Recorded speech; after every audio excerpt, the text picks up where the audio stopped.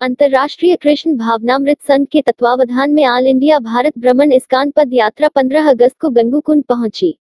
सुबह चार बजे मंगला आरती के पास यह यात्रा गंगूकुंड के लिए रवाना हुई। इस दौरान मार्ग में जगह जगह भक्तों ने पुष्प वर्षा कर यात्रा का स्वागत किया।